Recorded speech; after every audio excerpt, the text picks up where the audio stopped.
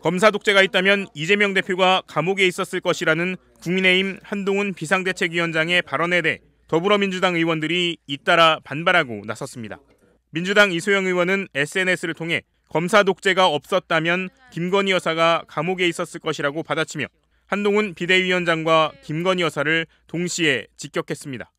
이소영 의원은 이어 그렇지 않냐고 반문하면서 한동훈 위원장님 말장난 그만하자고 한 위원장의 발언 태도를 거듭 비판했습니다. 민주당 양경숙 의원도 한 위원장의 발언은 전두환이 군부 독재에 대한 비판 여론을 두고 나한테 안 당해봤잖아라고 했던 섬뜩한 말을 떠오르게 한다며 비판에 가세했습니다.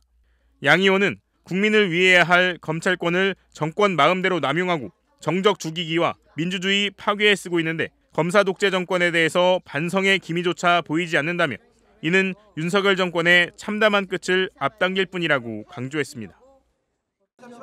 4월 총선의 구호로 줄곧 운동권 청산을 앞세우는 한동훈 국민의힘 비상대책위원장.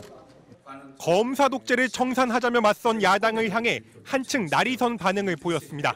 이재명 대표는 지금 청산해야 할 가장 중요한 과제가 검사 독재라고 얘기를 했습니다.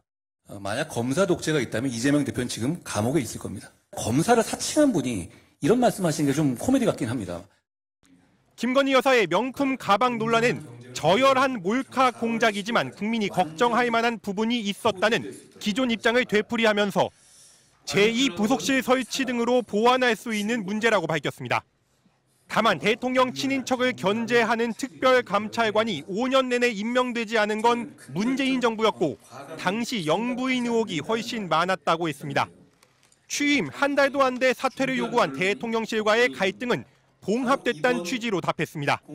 당무 개입 아닙니까? 대통령이 음, 그렇게 일도양단으로 말씀드릴 문제는 아니고요. 제가 그동안 사, 상황을 보셨으니까 어, 지금 이후가 중요하다고 생각합니다. 저는 지금의 소통이 충분히 잘 되고 있고 어, 할 일을 어, 더 잘할 수 있는 어, 이런 그 분위기가 되죠.